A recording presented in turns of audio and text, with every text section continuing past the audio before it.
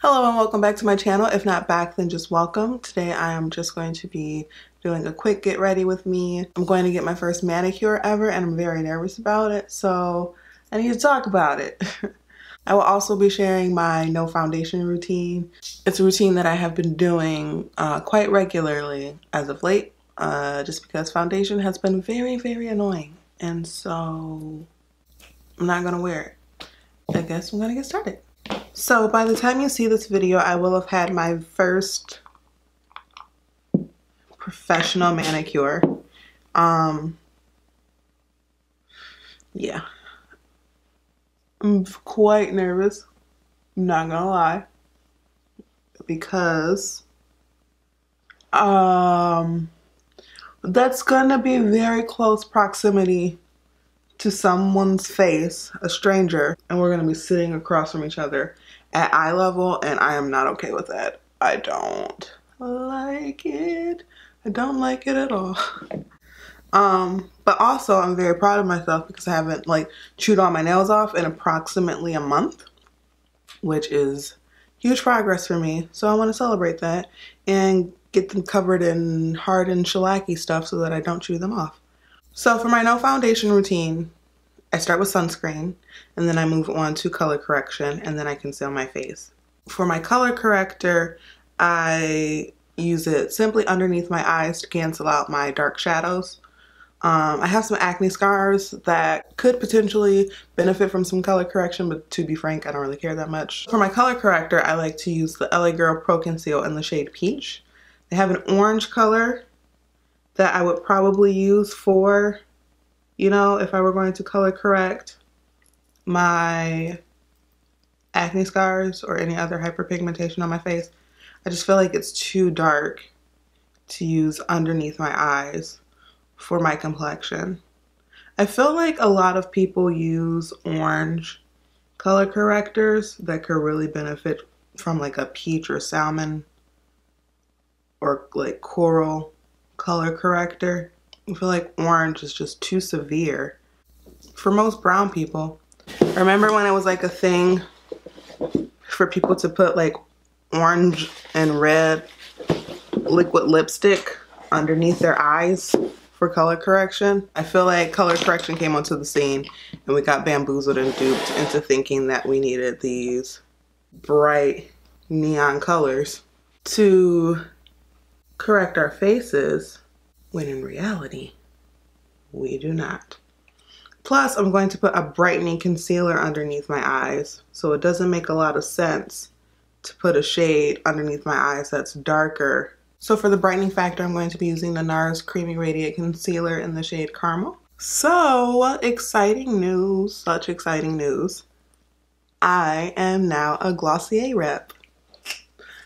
That means that I make a commission of sales generated through the link connected to my rep page.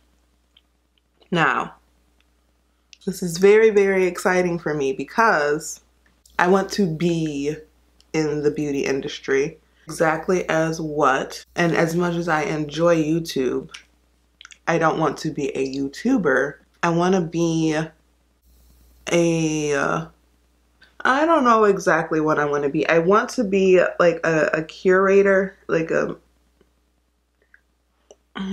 a museum curator, but for the beauty industry. I don't know. I don't know exactly what I want to be when I grow up, but oh, and then to cover the spots that I want to color cover, I'm using the LA Girl Pro Conceal concealer in the shade Fawn. Yeah, Fawn. But I do know that I enjoy creating, making videos. I enjoy editing pictures for Instagram, arranging the photos for my Instagram in an aesthetic and theme. That theme and aesthetic varies and changes too frequently for it to look cohesive, but um, I think I'm getting it down. So I'm a Glossier rep now. So the difference between being a Glossier rep and say a Mary Kay rep or an Avon rep, which no shade to either of those companies, is that Glossier reached out to me. Like they saw my content enjoyed what I was doing. I'm pretty sure they saw my Cloud Paint blush video. And I also tag them on Instagram and post that when I'm using their products. And I'm, between those two things, somebody saw something and was like, we like what you're doing. And that's what makes me so excited about this program. It's not that I reached out to them actively. I didn't fill out a form to become a rep. I didn't buy a kit to become a rep and then start selling or anything like that. They saw what I created, they enjoyed what I created, and then asked me, you know, would I be interested in being in their rep program? And obviously I said yes because I'm actually really into Glossier and their and their brand. I don't feel like they ever push for uh, perfection or anything like that. It's all about your individual face and your uh, the way that you are set up and just enhancing that instead of trying to cover anything and just making sure that your your base your skin is taken care of first and then adding on top of that okay I think I'm actually gonna wear eyeshadow today because want to be slightly impressive. I'm going to be sitting across from another human being that will be touching my hands. I don't think you guys understand. She's going to be touching my hands, eye level with me. It's going to be so weird. I'm not ready. Let's see. I'm going to prime my eyelids with this Smashbox eyelid primer. I really like this one. It's a skin tone eyelid primer and corrector. Like it hides my the darkness of my eyes, kind of brightens up my eyelid, which generally I don't care about, but if I'm going to be wearing, you know, eyeshadow, then it's something that I'm conscious of and it's something that I want to, if I want the eyeshadow to pop and I don't want the eyeshadow to blend in with the natural shadow of my eye, then I will use this. I'm just gonna take a like kind of shimmery copper color. This is from my Viseart, the Theory palette, and this is in Minx too or minks, just minks, ow. And I'm just gonna put that all over my eye because I just want a sheer wash of bright copper.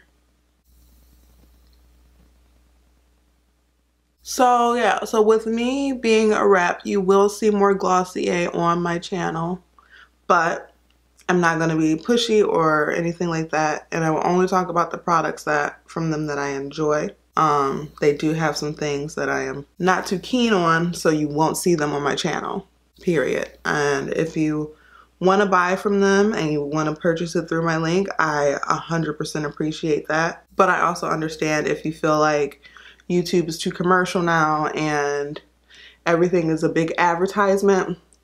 But I just want to let you guys know that I don't make money from Glossier. Like Glossier doesn't cut me a check to um to come on here and try to sell you anything. I only make money if you click on the link and purchase through it. And I will also not spam my description box with my link all the time. So it's not gonna be any sort of like, and on this week in Glossier, like it's not gonna be like that. It's only gonna be when they come out with something that I really enjoy and really wanna share. So that's why I did the SPF video because I have been waiting for them to launch an SPF ever since I started using their products. I've been using their products for like a year and a half, two years. Okay, I want to do like kind of like a baby halo eye thing. So I'm going to take this Butter London eye glaze in the shade Spark.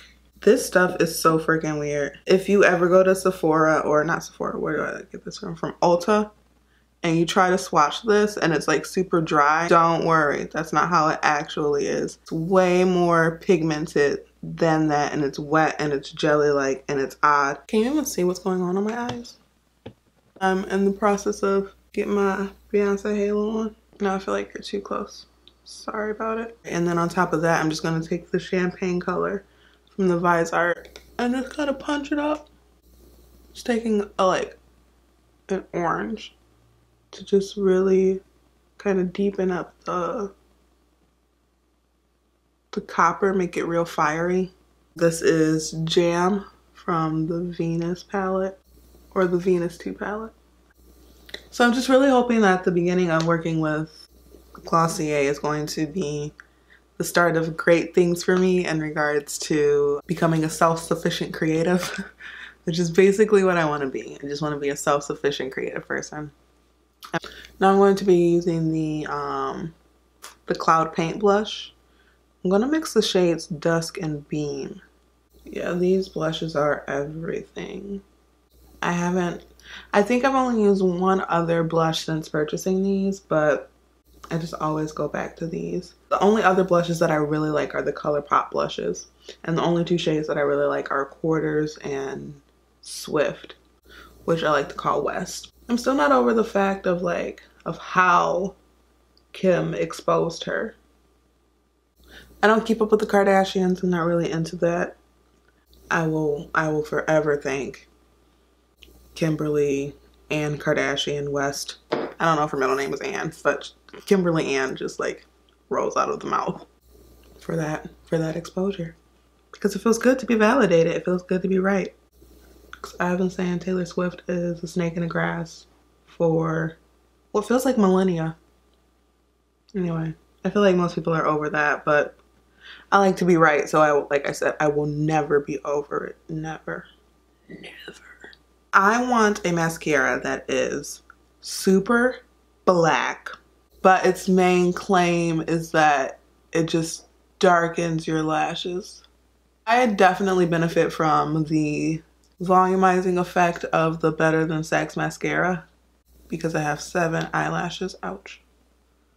But I don't really like how like crusty most volumizing mascaras make my eyelashes look because I do only have seven of them. So I have to go in with a very, very light hand. I just basically want like an eyelash tint in a tube. Oh yeah, I chopped up this wig and I made a video explaining why I chopped it up. But the sound, my microphone has been funky. And sometimes it sounds like there's like a helicopter or something in the background of my apartment. It was just loud and obnoxious. So basically the moral of the story is don't buy this wig unless you are the kind of person that has a rotating arsenal of wigs and are not dependent on this to be your everyday style because the ends suck and will fail you. Now I'm using the Glossier Boy Brow in Black. I absolutely love this brow pomade. I love how small and precise the brush head is. I also feel very fortunate that I have a lot of like, that my brows take up a lot of real estate on my face. Um, but I don't have a lot of hair, so I really just need a good brow gel to darken them up. And that's kind of what combing them forward does. It's kind of like, you know, back combing to make your hair look fuller before you comb it where you want it to be. It's the same principle.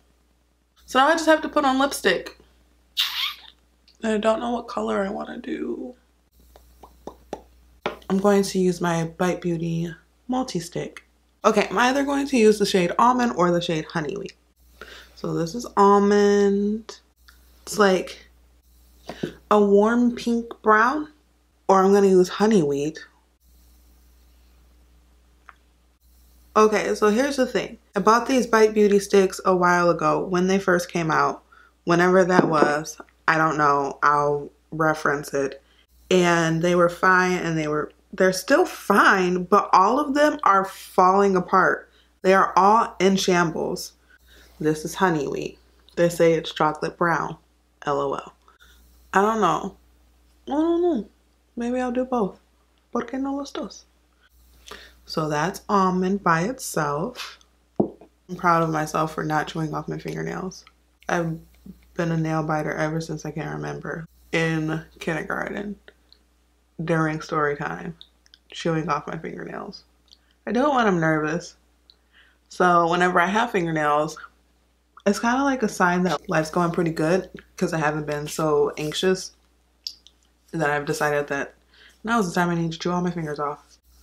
But I'm bird, man. I promise my next video will be a lot more like, and also I will have a lamp. So this corner back here won't look like the shadowy place beyond Pride Rock. So this is my face for the day. I wish I had a tan. I'm going to buy some self tanner. So yeah, I guess that's it. I'm just sitting here like trying to figure out something to say, but I don't have anything to say. Thank you so much for watching. Till next time. Bye guys.